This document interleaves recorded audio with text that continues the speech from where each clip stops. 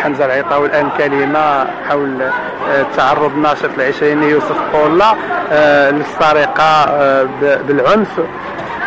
كلمة ديالك حمزة. الآن تحيه المجد والخلود لشهداء الشعب المغربي على رأسهم شهداء حركة 20 فبراير المجيدة.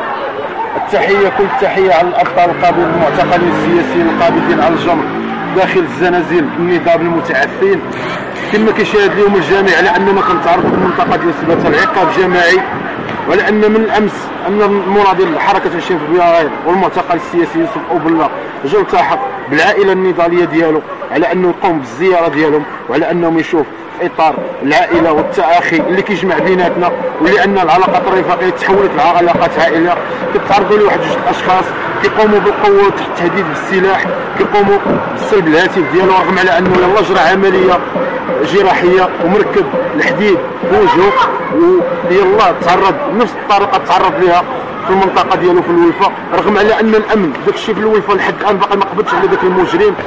كيبان بالملموس هي داك الشيء اللي وقع البارح وكيبان على قدمهم على أن النظام الآن حاليا كيتوجه كيفرس في المناضلين وكيدير لهم عقاب جماعي.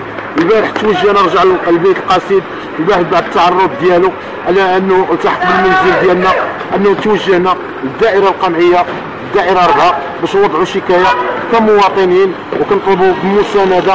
كنتلقاو اتصال هاتفي من الساكنة على أن هاد الأشخاص أنه جاو الأشخاص الأصدقاء ديالهم المجرمين جاو بالسيوف ديالهم وديروا الساكنه ديالهم الرعب كنتفاجئوا بزاف.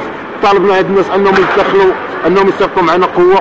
كيقول لك أن صارح العبارة والكل يتحمل مسؤوليته وأنا كنتحمل مسؤوليته في هذه الهضرة.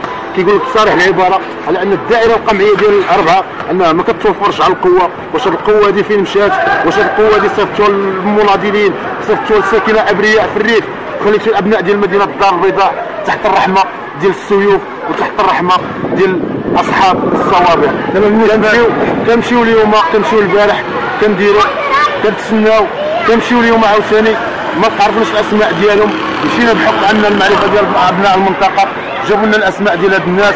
مشينا التحقنا بالدائره الرابعة. مجددا كنتفاجئوا على أن ما كاينش موصيو ديال البارح. حتى واحد ما جا ديكلارا وهذا ان دل على شيء هنا في كيطرح التساؤلات؟ واش هذا؟ واش هذا الفعل؟ هذا ممنهج ويتحمل المسؤولية ديالو ايا كان. وهذا الشيء ما غنسكتوش عليه. المهم ما كنبقاوش الموسيقى في الدائرة. القمعيه 23 سيروا حطوا الموصو ديالكم. كنجيو للدائرة 23 أزيد من ثلاثة السوايع ما عرفتش أنا الدائرة القمعيه 23 في المداومة ما كتوفر ما كاينش حتى شي واحد.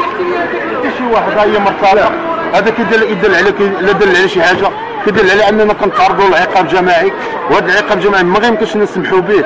دعت الضروره على أننا على أتم استعداد الا كان هذا القمع هذا وكنا اللي كنقول القمع. عارف علاش كنقول القمع؟ لأنه راه كيقمع ولاد الشعب ولكن الخدمة ديالو ما كيقومش بها.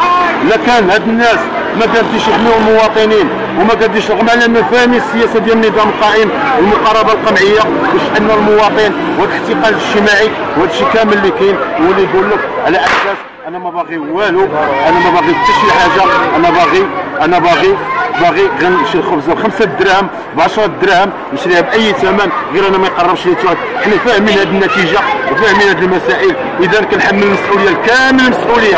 النظام القائم في المغرب لأن أي مناضل تعرض لأي مسألة وعلى أن هذه المسألة هذه اللي يوسف ولا اللي كيتعرض لقمع غير مباشر لمده ثلاث شهور هذه من خلال الهجوم عليه من خلال وضع شكايات كيديه عليه وبالأمس ومن خلال التواجد ديالو.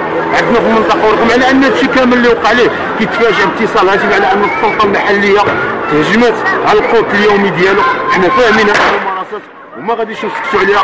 وإن للشارع وإن إليه راجعون. وهذا الشيء كامل غتكون الإجابة ديالو في الشارع خلال هذه الأيام من خلال المنطقة ديالنا الأبية. والكل يتحمل المسؤولية ديالو وكل يتحمل المسؤولية ديالو وكل يتحمل المسؤولية ديالو. ونوجه رساله الأخرى أن هذا القمع وهذا الشيء اللي كيديروا كيدفعونا على أننا نديروا اللجوء السياسي. ما غاديش نديروا اللجوء السياسي.